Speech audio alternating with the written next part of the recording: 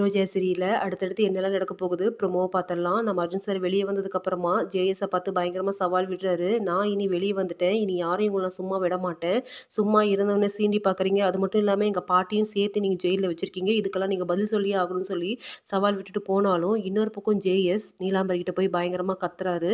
பத்து லட்சம் கொடுத்து நீ ஜாமீனில் அவனை எடுத்துட்டு நீ ஈஸியாக வெளியே வந்துட்ட. அவனை உள்ளே வைக்கிறதுக்கு நான் எவ்வளோ கஷ்டப்பட்டு போராடிட்டு எனக்கு தான் தெரியும்னு" சொல்லி ஒரு பக்கம் அவர் கத்த, இன்னொரு பக்கம் சாட்சி லீலாவதின் பேர் வச்சு என்னத்தை கிழிச்சிங்க எதுக்காக இப்படி அர்ஜுன் ஃபேமிலியில் அன்பை கொட்டிகிட்டு இருக்கீங்க? டைரெக்டாக போய் தாக்க வேண்டியது தானே அப்படின்னு சொன்னேன். எனக்கு வேறு வழி இல்லை நான் இப்படி போய் தான் அவனை மடக்கணும். நான் டைரெக்டாக போனேன்னு சொன்னால் நான் யார் என்ன விவரம் தெரிய வந்ததுக்கப்புறமா என் பிஸ்னஸ்லேருந்து எல்லாமே டோட்டலாக அவன் அழிச்சிடுவான்னு சொல்லி நீலாம்பரி சொல்ல, இருந்தாலும் நீலாம்பரிக்கு நம்ம அர்ஜுன் மேலே பயம் இருக்க தான் செய்யுது. இன்னொரு பக்கம் பார்த்தீங்கன்னா, நம்ம பாட்டியை தற்கொலைக்கு தீண்டுற மாதிரி இந்த ஜேஎஸ் பேசிட்டு போயிருக்காங்க. நம்ம பாட்டியை ஒரு பக்கம் பாதுகாக்கணும். இன்னொரு பக்கம் இந்த கூட்டத்தை அழிக்கணும். என்ன நடக்க போகுது? வெயிட் பண்ணி பார்க்கலாம்.